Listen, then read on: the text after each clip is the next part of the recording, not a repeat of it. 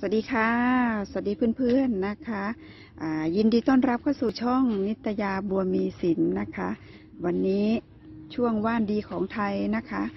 ก็มีว่านดีๆ มาให้เพื่อนๆได้รับความรู้นะคะ ได้รับชมกันอย่างต่อเนื่องนะคะ วันนี้พินิษพามาดู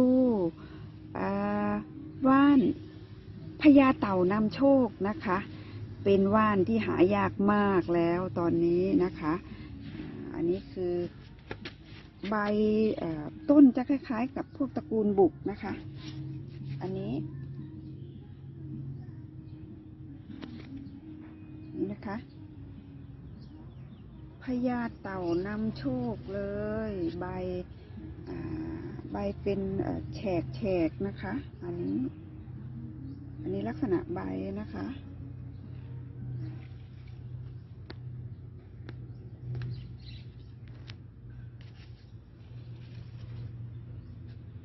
แตกกิ่งออกนะคะที่ปลายยอดนะคะ แตกกิ่งออกที่ปลายปลายยอดนะคะ อันนี้สามค่ะ แตกสามกิ่งที่ปลายยอดนะคะพญาเต่านำโชคเลยนะคะ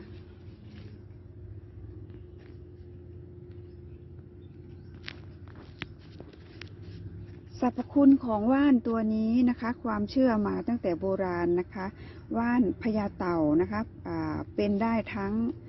ในทางยานะคะก็จะเป็นยาอายุวัฒนะนะคะในทางสรรพคุณเมตตามหานิยมนะคะ อันนี้ก็จะผู้ใดที่วางไว้ ที่หน้าร้านค้านะคะทำกิจการค้า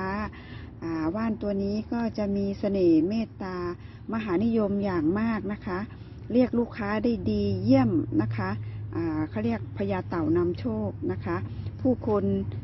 เดินเข้ามาหาอย่างไม่ขาดสายเลยนะคะ มีพญาเต่านำโชคเอาไว้หน้าร้านค้านะคะ ตัวนี้จะเพิ่มความเป็น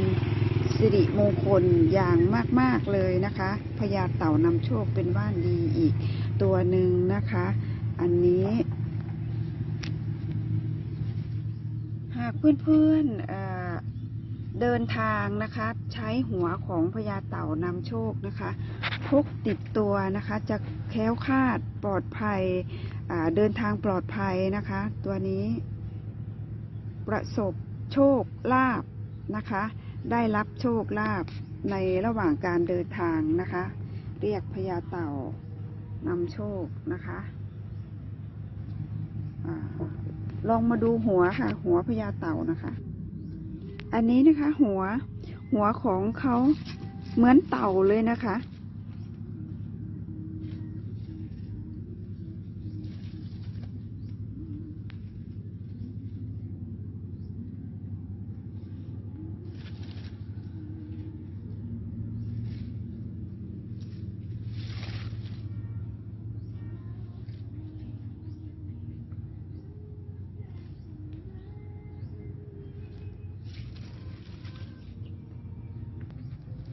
เอา ละค่ะ วันนี้ก็ได้รู้จักกับพญาเต่านำโชคแล้วนะคะ